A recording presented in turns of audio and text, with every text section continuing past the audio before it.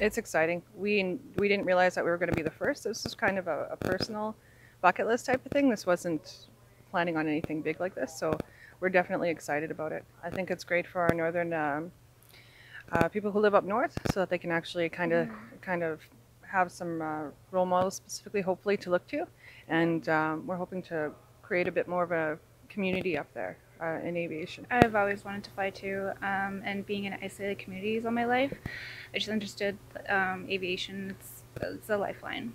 I did get medevaced out once when I was little, and um, just being surrounded by my community and um, seeing all these beautiful brown faces, and then seeing you know the cockpit and there's you know males and they're white, and I was just you know as a little girl I just kind of questioned that like, oh, so this is awesome.